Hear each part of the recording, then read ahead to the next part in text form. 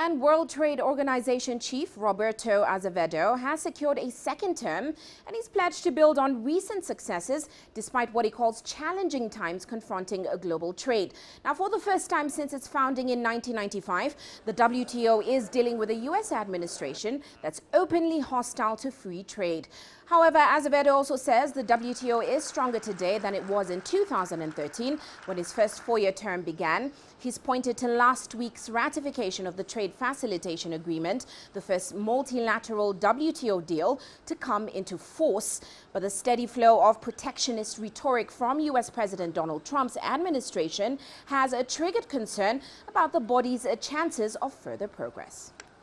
We must work harder to ensure that the benefits of trade reach more people, uh, especially in the most vulnerable countries. We need to work with governments uh, to help them build policies that respond to the many challenges of today's economy, policies which leverage trade uh, as part of the solution.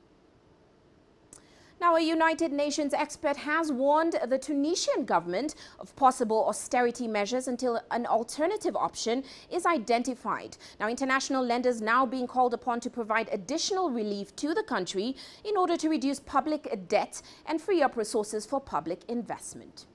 Economic and social rights should therefore be the top priority of international financial institutions, bilateral lenders, and Tunisian authorities. Investing in these rights is the best investment for preventing violent extremism and political instability.